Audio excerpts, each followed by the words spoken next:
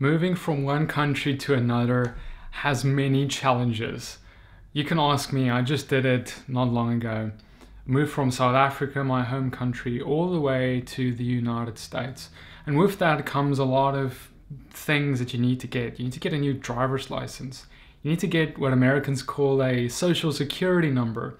You need to get all kinds of things to get your life set up in America. And one of the things that also gets a reset is something we know as our credit score.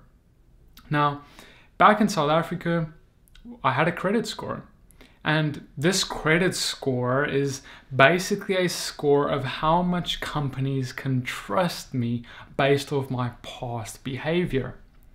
And so when I flew to the United States, landed, and started settling here, that credit score got reset because in America, no one knows me. No American company knows me. No one knows if they can really trust me. And the interesting thing was that when I got my first credit score, it was pretty good because I didn't have any bad marks on it. You see, you can be as someone who comes into a country, brand new person, brand new clean slate, and you can have a better credit score than someone who's been living in America for 50 years but who's made a mistake, who who missed a payment or whatever. And it's really interesting because this is how trust can be broken. You see, it is you can have consistent behavior, good behavior, all the days of your life. If you're in a relationship, if you're in a marriage, and then when you make a big mistake, let's just say you cheat on your spouse or you know whatever there's this breach of trust that happens and this breach can leave a very deep mark in your character and how people see you, how they perceive you, and whether they can now trust you in the future. So now, just like that credit score, just like these, how credits are, we have a credit score which companies rate us on how much they can trust us, how much they can trust us to uh, loan money to us, and that we would pay it back or not. And in the same way, just like we can break trust in that way, get a bad credit score, the same way we can break trust with people. The same way we can even break trust with God. And brothers and sisters, this is very important because our credibility is so important. You see, we call it a credit score because it's about how credible you are in terms of whatever you are being rated as whether it's someone making good payments, or whether it's someone being a good wife or husband, or whether it's someone being a good disciple of Christ. The question is, is are you a credible one? Are you someone that if God thinks on his kingdom matters, and he's always thinking on his kingdom matters, but when he does, are you someone who comes to his mind as someone he can trust that with? See, that's such a big question. It's so important for us to, to ask the question. You know, just like if, if your wife, your husband, do they think of you as a credible person? Because they see everything, they live with you. Anyone knows, you know, you can hide things, but when you get married, everything gets all out and exposed, all out in the open. And they can see everything you thought no one knew about, right? And the same way, God is even more. He knows even more than anyone else. He can see everything about you. And the question is, is when he sees everything about you, what does that make him do? Does it make him trust you? Does it make him feel like he can't? See, my sisters, what I'm talking about here is important because it's in the Bible. We read in Matthew 25, verse 23 His master said to him, Well done, good and faithful servant. You have been faithful over a little, I will set over you much. enter into the joy of your master. We all want to hear those words, well done, good and faithful servant. We always quote him. We always say, I want to just hear that. I just want to hear that. I just want to hear, well done, good and faithful servant. But what does it take to hear those words? You see, brothers and sisters, what it does is it takes us to be faithful over the little entrusted to us. Just like he said there in context, you were faithful over a little. Now I will set over you much more. You were entrusted with a little, and you proved yourself to be trustworthy. You proved yourself to be credible. You proved yourself. And because of that, because I can trust you, because I can think, because I think of you when I think of who will I give this job to because I can trust you. This is why I'll give you more. This is what the Father is saying. Brothers and sisters, I remember, here's the beautiful thing. Here's the beautiful thing. Just listen. I remember years ago when I was a young boy, I remember when I was in like primary school long ago.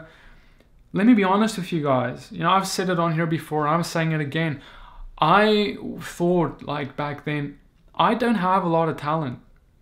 I thought I don't know what I'm going to offer this world. And even more than that, what am I going to offer God? Like, what am I going to be uh, to God? How am I going to be able to do anything for God?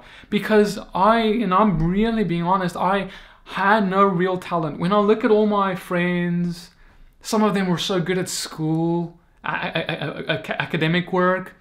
Others were really good at sports. Others were really popular for whatever reason.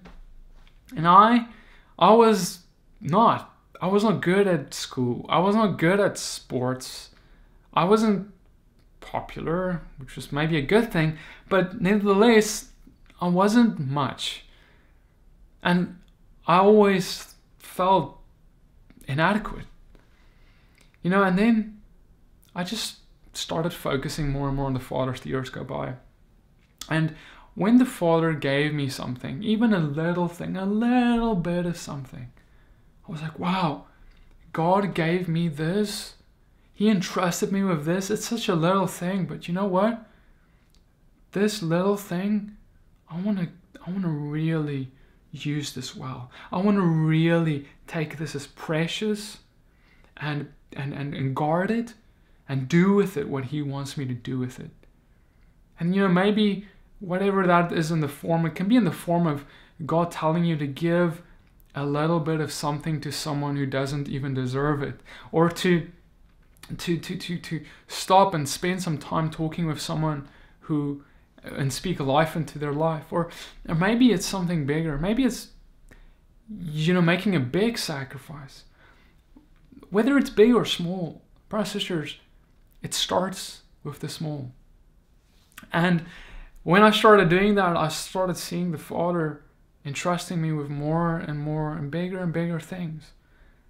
And it, what, the, what is important is that we remain credible, we remain humble, we remain responsible over what He gives us. And so, what I started realizing soon is the things that I was the worst at, like my worst, my weaknesses, were the things that God started be making strengths in my life. Like the fact that I just couldn't talk in front of people. I was so afraid of people. And God turned it around and empowered me to start making that my, at the end of the day, what I do, what my, my life consists of. Is, and, and now you see that God takes the little we give Him, even if it's the weaknesses. Brothers and sisters, the weaknesses are the things God wants most.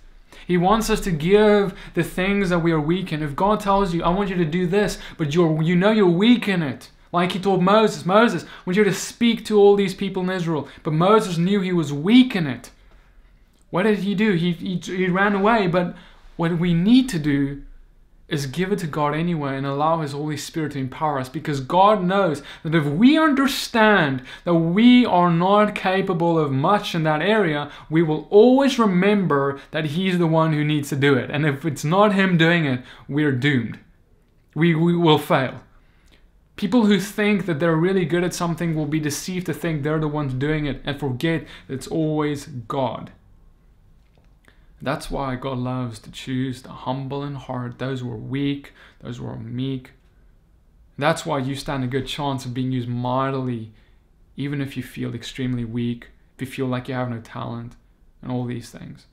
But what is more valuable to Him than your skill sets and talents is the fact that you're credible. It's the fact that you're trustworthy.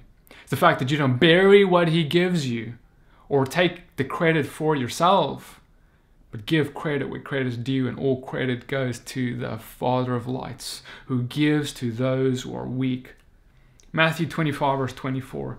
He also, who had received the one talent, came forward, and he said, Master, I knew you to be a hard man, reaping where you did not sow, and gathering where you scattered no seed. You know what he's saying here? It's so profound what you know this master he reaps where he did not sow. He gathers where he did not scatter. That means that god expects see, uh, fruit to come forth from places where he did not even sow seeds.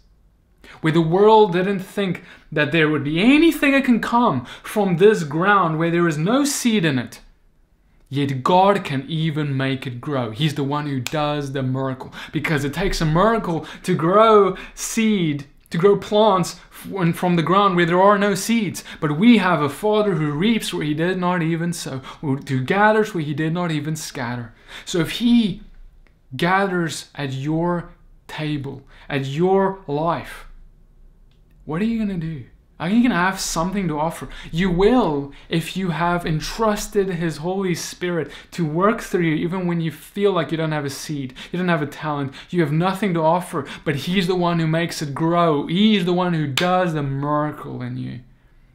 But see, this servant made a mistake because he knew that God was able to do these things because he says, I know that you're able to reap where you didn't scatter, uh, give any seed. You're able to gather where you didn't scatter any seeds.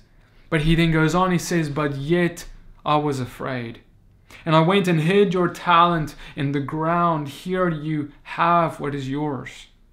But his master answered him, You wicked and slothful servant, you knew that I reap where I had not sown, and gather where I scattered no seed. Then you ought to have invested my money rather with the bankers, and at my coming I should have received what is my own with interest. So take the talent from him, and give it to him who has ten talents. For to everyone who has, has will more be given, and he will have an abundance. But from the one who has not, even that what he has will be taken away. And cause that worthless servant into the outer darkness, and that place there will be weeping and gnashing of teeth. You see, this servant, he goes to a place where there's weeping and gnashing of teeth. You see, brothers Church, the opposite of hearing, well done, good and faithful servant, is a place of weeping. You want to hear those words. You really want to hear those words. But see, what his error was is so important for us to remember. And that is, he was afraid. He was afraid. He understood the power of God. He understood that God can make this miracle happen, that God can do this. But he was afraid. He was not willing to make a sacrifice. Because, brothers and sisters, let me tell you, and I can testify of this myself, and I'm sure a lot of you can, that when God asks of us to do something, even in places we are weak in, it takes a lot to do. It's really hard. It's there's a lot of fear in us when it comes to the things that we know we're weak in, and we know we and, and God tells us to do something there. Look at Moses. He had fear overtake him and he said, No, you need to let Aaron speak for me instead. That is sin. That was sin. That was why God became angry at him. But what we ought to do is not is even look, it's one thing to fear, to feel fear, but it's what you do with that. It's how you act on that. That's the big question. Brothers and sisters, I remember when the first time God came to me and he called me, he said, I want you to go and, and there was this event, there was a school that asked me to, te- to, to, to give a testimony at the school event, like full of there was like thousands of kids there, and I'm and I'm like thinking, God, I I'm so weak in terms of this. I'm not good at speaking in front of people. I'm not good at any of this these things. So what am I to do, Lord? I I, I am afraid. And you know, I felt like this servant did because he he was afraid. He had a little bit, but he was afraid. And I had a choice: go or don't go. Go and step up and be and allow the Holy Spirit to speak and work and empower, or step down because I'm afraid, because I'm not willing to be a sacrifice. I'm not willing to be a living sacrifice in the hands of my Father to do His will, even if that will is hard, even if that will is something I feel weak in. But nevertheless, glory to God, I chose to get on that stage and he carried me. And in that moment, I remember it was so beautiful. In that moment, he delivered me from all of that fear of man that was keeping me back. And it doesn't mean that, that we never feel fear again. Fear comes and goes like the waves, like the seasons. But it's the reality that I could see. Wow, look at how he carried me. Now, next time I, I may feel fear, I may feel stuff, but he carries me nonetheless. So I don't have to let that stop me from going forth to do what he told me to do. Brothers and sisters, this is how we go and invest what He gives us, how we go and be wise and credible and trustworthy with the talents that He gives us. It's by going even when it's hard, even when we feel weak, even when all the world comes against us, and even when the world says and tells us there's no seed that you have, you're not going to bring any fruit forth, you're going to have a plant to give us, you're going to have anything to grow because there's no seed. You know, 1 plus 1 is 2. Seed plus water is plant. That's how it world works in the world, but when the kingdom of God, it's different. Because we serve a God who brings forth wine from water, who walks on the water. We have a God who brings forth uh, plants and he gathers the fruits even from places where he scattered no seed. So he may have not scattered any seed on your ground, but the question is, is when he comes to gather, will you have fruit for him? Or will your land be barren? And see, the key is his Holy Spirit is the one who empowers. Remember that. Allow yourself to be used. Step out of your comfort zone and let him work. Then you will be called my good and faithful servant. I would like to give a special thank you and shout out to our partners and patrons who have made this video and every other video and teaching this month possible. Blessings and shalom.